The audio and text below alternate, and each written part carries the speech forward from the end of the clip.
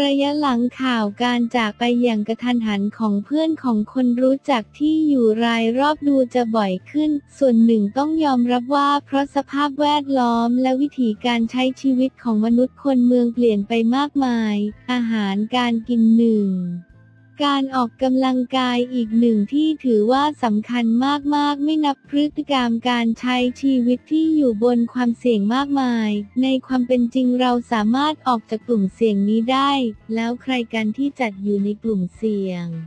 1. เพศและอายุจากสถิติเพศชายมีโอกาสเป็นโรคหลอดเลือดหัวใจมากกว่าหญิง 3-5 เท่า และมักเกิดได้ตั้งแต่อายุ 40 ปีขึ้นไปส่วนเพศหญิงมักจะเกิดในวัยหมดประจำเดือน คือ 50-55 ปีขึ้นไป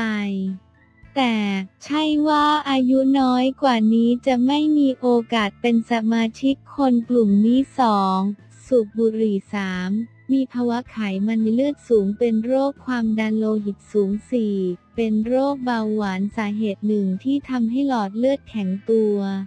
การบีบตัวของเส้นเลือดขาดความยืดหยุ่น ซึ่งแก้ได้ด้วยการเปลี่ยนพฤติกรรมการกินการใช้ชีวิต ทิ้งบุหรี่ซะและควรเริ่มออกกำลังกายโดยด่วน แต่อย่าหักโหมในทันทีางที่ดีเช็คสุขภาพปรึกษาแพทย์ก่อนเลือกชนิดการออกกำลังกาย